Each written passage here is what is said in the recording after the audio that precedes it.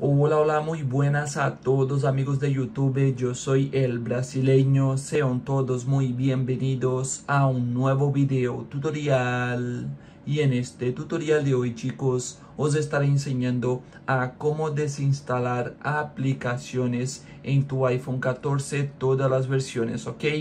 Dicho esto chavales, empecemos. Lo primero que vamos a hacer será buscar la aplicación que queremos desinstalar en nuestro iPhone, ¿vale? Por ejemplo, voy a desinstalar esta de aquí. Vamos a mantener el dedo presionado encima de la aplicación, encima del icono. Nos va a salir esta opción. Le damos en eliminar app, eliminar app y eliminar, ¿ok? Hecho esto, ya se eliminó, ya se desinstaló la aplicación de tu iPhone. Y bueno, chavales, este fue el tutorial de hoy. Si te ayudé, por favor no te olvides de poner al menos un me gusta al video. Si es posible, suscríbete al canal.